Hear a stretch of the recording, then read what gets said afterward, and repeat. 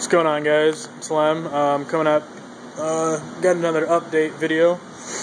Um, so, uh, you guys saw the power wire that I had ran um, the other day. Um, I got the ground wire uh, ran right here. Hopefully, it doesn't fuck with uh, the signal cable at all. I've heard some things about it, and I just couldn't fit another run of zero down the driver's side.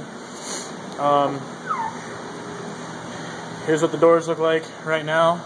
Um, tomorrow I'm going to be wrapping them, so there's one side.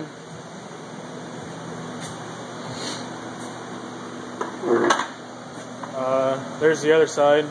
Uh, these are getting wrapped, and then I'm gonna install the um, the battery and the battery in the back, and then I'll probably have these doors playing Monday or Tuesday, um, depending on you know I gotta set I gotta set the gains for one of my buddies on uh, Monday afternoon, so after work, so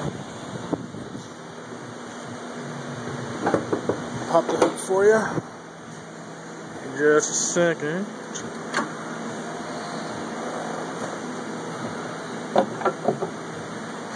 All right.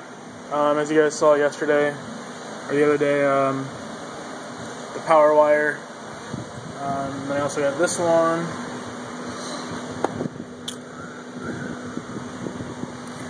Comes along here. And there's my uh, juice box 3400. Um, I mean, as you can see, this one's a little tall, but it still clears, so I'm not worried about it. Um, and this is the ground as well but I'm not putting any terminals up here because I don't want this to be raised up any higher than it has to be.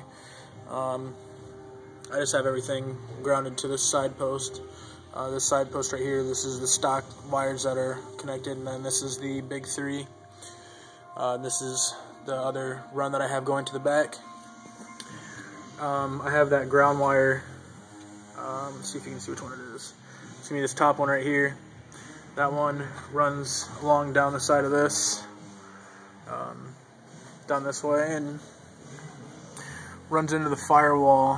Um, I don't know if you guys can see that or not, but it runs down there. Um, yeah, comes along this side. So tomorrow I've got. Uh, tomorrow I'm going to be running or wiring um, the new head unit. I've got the old one pulled out. Um, here's the RCA wires and shit. Um, these are all going to be hooked up to the equalizer.